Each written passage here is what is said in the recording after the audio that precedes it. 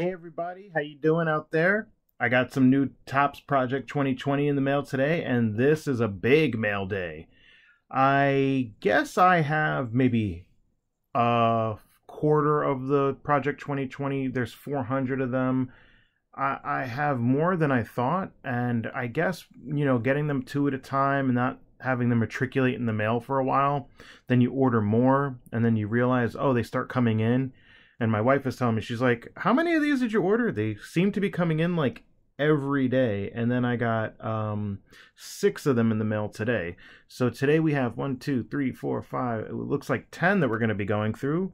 Um, I took them out of the original packaging and they are going to be new to me. So I'm not exactly sure what we're going to be opening in what order. Um, so I'm just going to start and go from there. Well, that one fell over. So let's go with that one see what we have here. Oh, and they put it in another wrapper, but I'm going to take it out of there. I don't necessarily need two layers of protection. All right, so we got Cal Ripken Jr. Um, it looks like uh, bird feathers or something like that, and then these flowers. Uh, I'm not sure if I'm supposed to get a raven or Hawaiian theme, but it's the Baltimore Orioles, so maybe it's an Oriole um, and not a raven because that would make more sense. Duh. Um, and this one is done by Matt Taylor, UK based designer and illustrator Matt Taylor, well known for his vividly designed film and event posters. Okay, event posters, that, that, that makes sense. His use of color shatters the known universe, bringing this wide array of pop culture subjects alive. Extensive array of clients include 20th Century Fox, Jack White, Lucasfilm, Marvel, Pearl Jam, Phish, and Queens of the Stone Age. All right, Cal Ripken Jr., the Iron Man himself. Gonna leave that in the background. Let's go to this one that I was gonna get originally. Okay, this one doesn't have the same bag, double bagging. This is Rickey Henderson, A's. It's um more of like a artist cartoon um pastel um version, like a watercolor version almost. I do like kind of the comic book esque um you know font or background here. It's very interesting. So who did this one? This is by Jacob Rochester. Jacob Rochester is what many call an artist's artist. The bicoastal creative doesn't just create wonderful illustration paintings and graphics, but Rochester also knows a thing or two about producing mesmerizing beats that can easily impress the most dedicated hip hop head. Very nice. I like that one. So too far we don't have a um repeat, meaning like an artist that's been doubled up yet thus far. And I noticed that a lot of times, um, you know, I've been getting a lot. I mean, by now, obviously, I've doubled up on certain these. Like, I feel like I've read each of those descriptions at least once by now. Oh, wow. Check out this dope Tony Gwynn. It's got like, uh, you know, like a spray paint West Coast design. Each coast, when they say bicoastal, they mean, you know, California, West Coast, New York City, you know, more so East Coast. Um, but it could be Boston and and the cities on the East Coast, DC and stuff. But that typically is referring to L.A., New York.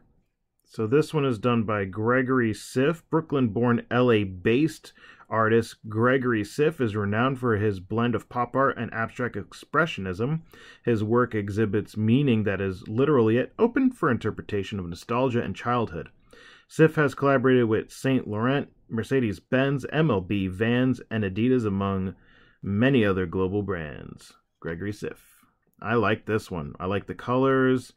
Um, I like everything about it, really. I mean, you got a little cassette here. It tells you it's like 80s, 90s. Tony, outfield, Padres, uh, Project 2020. And then you have Gregory for Gregory Siff, San Diego logo.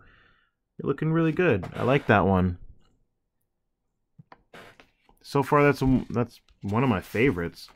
I'm hoping that, I don't know when it's coming in the mail, but I'm really hoping for the uh, Mark McGwire that looks like a Big Mac and then it says Big Mac on it. I mean, that is hilarious. So who do you have here? Uh, looks like Roberto Clemente. Wow, there's a lot going on on this one. So Roberto, when I showed this to my wife online, uh, her interpretation, she really likes this card. And her interpretation of it is Roberto Clemente looking back at his entire career. Let's see if I can um, get more of the finer details. You see on the right hand side here the Puerto Rican flag. He is of Puerto Rican descent. You have Puerto Rico here. On the left side, we have the Pirates as the 1971 World Champions. So, I mean, this has a lot going on. It's a beautiful card. This one is done by, oh, Andrew Thiel. Oh, okay, he has come out as one of my favorite um, artists so far. One of my top three. Um, Andrew Thiel is a multidisciplinary artist based out of New York City. His design studio, Art Tech Creative, works within music, fashion, and nightlife. He has collaborated with some of the largest brands in the world. Thiel is recognized among the art world for his large scale texture paintings and has had two solo shows and a published book. I like that one. Now, I like having the cards, you know, out like this um, and I'm not sure how people are displaying their Project 2020. You know, are you guys putting them on a shelf?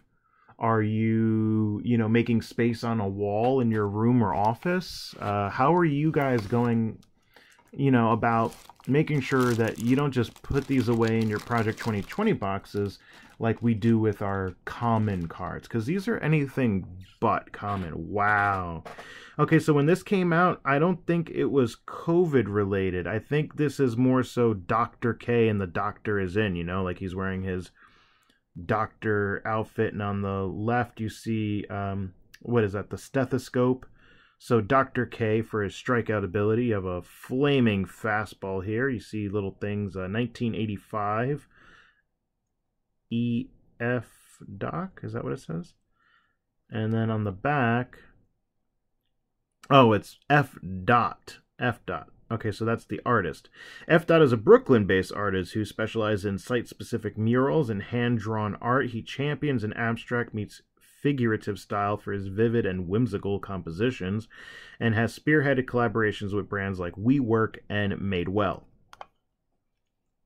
So you can see F, but F. Doc. Okay, so he didn't, I didn't misread that the first time. And then F. Dot down at the bottom. Very nice. Not the biggest, um, you know, I tend to follow and collect Hall of Famers, but that Doc Gooden was too good to pass up. I really enjoyed the design. Um, you know, Gooden had a a lot of substance abuse issues and things like that, and he still does to this day. So it's kind of a sad story. Um, but anyway, great card, great tribute to him. And moving on, we have another take of this Mariano Rivera rookie card. Now, you see the other cards behind me, they took, you know, more drastic changes, except for the Rickey Henderson is not as drastic. The Cal Ripken, that's very different, a departure from the original card. The Tony Gwynn, so much. Um, the Roberto Clemente and the Doc Gooden, but this one is a very simplified version of the original Bowman card. I think it's a 91 Bowman, if I'm not mistaken. This one was done by Blake Jameson. He's another one of my top three. And um, Ermsy would round out the top three for me out of the bunch. New York pop portrait artist Blake Jameson works with celebrities, professional athletes, tech founders to create vibrant, one of a kind works of art. Jameson collectors include Howie Mandel, Rick Harrison, Gary Vaynerchuk, and over 350 professional athletes, NFL, NBA, and MLB. Now, I think I read an article today. Uh, I'm not sure if it was Beckett that put it out. That was talking about talking and interviewing Blake Jameson on his Project 2020 and how he's reflected on it. And he's been collaborating, um, not collaborating, but communicating with other artists. And he wants to collaborate on other projects as a result of this project. One of the things he has been talking about has been taking common cards that and we what I mean by common cards that signifies it's a non MVP, non potential Hall of Famer, just a, a a a player who is in the major leagues. That's not in the top, not on the bottom, but it's just their value of that card. It's made in in mass or there's so many of them that they don't hold or retain high value. So a common card, uh, let's say we were talking about the New York Yankees. when he first came out, maybe Luke Voit wasn't a common. That was a hot card. It went for about five dollars. But maybe today it would go in my particular commons pile, but Aaron Judge would not. Um, Gio Urshela third base would be considered. So here we have Ted Williams. And this is a nice card. There's a lot of detail to this one too. So with a lot of these, you have to take your time. You got to look. You got to read the fine print, which I will be doing on this one. I'm not going to do it now because my camera can't pick it up. And this one was done by Tyson Beck, considered an industry leader in the world of sports design. Tyson Beck counts major American leagues such as the NBA, MLB, NFL, NHL clients of his, alongside global brands such as Nike, Adidas, and Under Armour. Now, I'm a big Yankees fan, so you have to do a really good job to get me to buy a Boston Red Sox uh, memorabilia. But Ted Williams was one of the most prolific hitters in the history of the game. And given the fact that he lost years to, you know, World War II and, and all that kind of stuff, is just like, it adds even more to his story. Who do we have here? We got Don, Don Mattingly, like, okay, like the Don, like in uh, The Godfather. When I first saw this card, um, to me, it looked like the championship ring that Don Mattingly never got because you know I don't I think I don't think he ever had an opportunity to even play in a World Series, and if he did, it's escaping me at this time. Probably the strike year, if anything. But you know, anyway, I'm going to continue. It's another Andrew Thiel. Is this is this an Andrew Thiel here, right here? Andrew Thiel. So yeah, you could see, you know, um, you could start to see the style of a particular artist after collecting uh, a few of their cards. I'm going to put those together up there, up top on my second level. We got two more left of the Project 2020. Ooh, it's like a robotic uh, Mike Trout as Cyclops from the X-Men or something like that. Maybe because he has such insane vision, but it's only coming out of one eye like what was it galactus at the end of maybe i'm saying the wrong planet um but at the end of transformers the movie? The oh unicron? When unicron was like dying because the transformers had uh i think it was a uh, who was it? Dinobot one of the dinobots had crashed through his other eye and he was just shooting laser beams out the one remaining. If nobody knows what i'm talking about do forgive me my references can be here or there but it's like a 80s, early 90s um, cartoon movie from the original Transformers. Anywho, um, black and white. I think this is the tattoo artist. I forget their his his or her name. JK5 Joseph Ari Alai El. I can't pronounce that last name. AKA JK5, which is why there's an AKA is a multidisciplinary artist known for his unbridled creativity and distinct approach to tattooing, design, illustrating, painting, type, graphics, writing, and letter forms. He has worked with brands including Nike, Converse, and Kidrobot, while also showing galleries and publishing three books. I just saw a movie, The King of Staten Island, with uh, Pete Davidson, and in that movie, he's trying to become a tattoo artist. And he himself is his whole body is like full of tattoos. So right away when you see or if you were ever into tattoos or know anybody that is, when you look at this artist JK5, you could tell. Like, oh, that guy's a tattoo artist. I don't know why, but it just stands out. Love it. It's almost uh, you know, it's I just love it. You could do that with any player and, and that would look really cool. Um, it's hard to see it's out of focus right now but i mean these cards are just great. But this this one maybe because it's black and white um, i tend to like black and white. I, I used to do a lot of pen and ink so i have a lot of appreciation for that. Not that there's anything wrong with uh, obviously i love these other ones in their own respect but i have a high regard for the pen and ink Okay, so the last one for today is Bob Gibson, and it has this like combination of the original 19 uh was it 56 i want to say but I, again i'm not completely accurate with the vintage cards um but this is the bob gibson card um but with different font obviously um the background and the lettering at the bottom. It says 19. Oh, maybe it's a 68 design because it says 1968 year of the pitcher, uh, Bob Gibson, St. Louis Cardinals. And this is done by King Saladeen. King Saladeen is a world renowned contemporary artist from West Philadelphia, born and raised, who works are exhibited all over the world. King Saladeen is revered for creating the Money Bear, which pays homage to his childhood friend JP, who he tragically lost in 2013.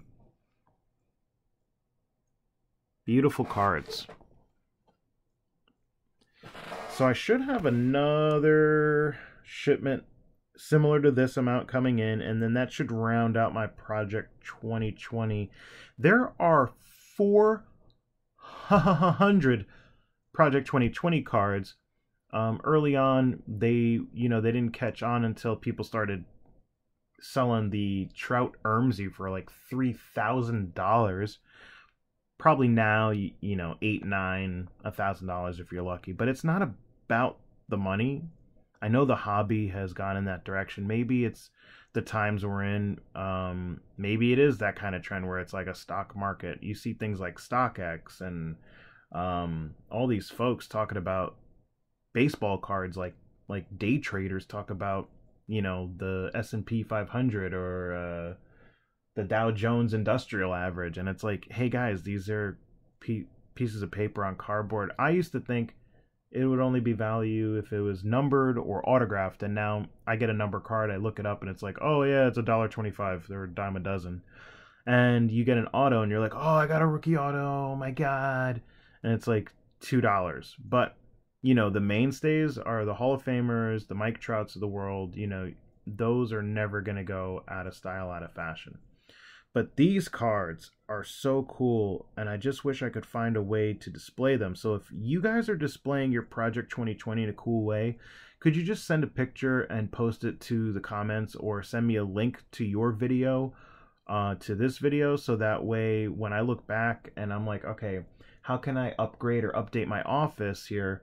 Because if, all right, I'm going to pan around. I usually don't do this, but I'm going to pan around so you could see, all right, here's my office I got collectibles, um, you know, travel like Marvel stuff, Spider-Man stuff, video game things, ba- signed baseballs and Hall of Famers, memorabilia, movies, you know, all sorts of stuff. Um, artwork. There's my baseball, Donnie. I call him Donnie Baseball. You know, Simpsons and things like that. So when I'm decorating, you know, I have a lot of empty wall space that I can utilize. Like, like a Star Wars figurines. Sorry, I'm a Jets fan. Things of that nature. Um, but yeah, it would be really nice to find a place to really showcase these as they are more than just cards and their works of art. All right, everybody, thank you for joining me. This is a longer video than I had intended, but I was really looking forward to um, this mailer because I thought I was gonna get um, a, a a couple of different cards, but that's exciting because that means they're forthcoming, and I'll do another one of these. So thanks for checking this out. Again, please let me know if you are displaying your Project 2020. I need some inspiration. All right, take care, guys. Peace out.